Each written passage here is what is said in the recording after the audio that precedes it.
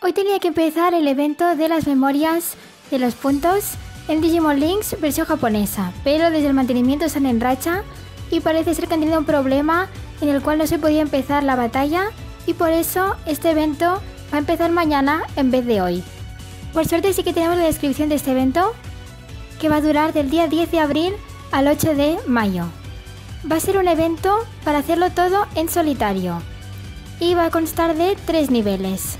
Cada uno se podrá jugar solamente una vez al día y podremos conseguir plugin, cluster y otros ítems.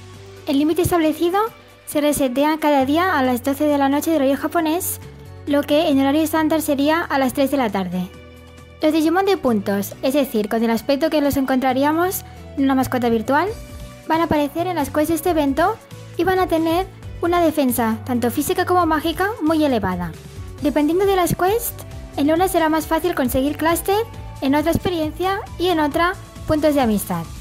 Y lo más interesante viene ahora. Las recompensas la primera vez que superamos las quests van a ser muy especiales y es que podremos conseguir en cada uno de los niveles los Digimon de puntos. Y seguramente son los que vemos en esta foto que son Gabumon, Agumon y Monzaimon.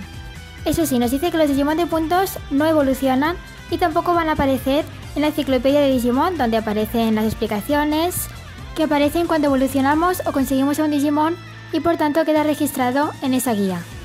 Finalmente también nos da otras informaciones relacionadas con Digimon Tree, que están celebrando que dentro de poco se va a estrenar la última película, la de nuestro futuro, y posiblemente tendremos una campaña de Twitter en este evento de colaboración de Digimon Tree con Namco.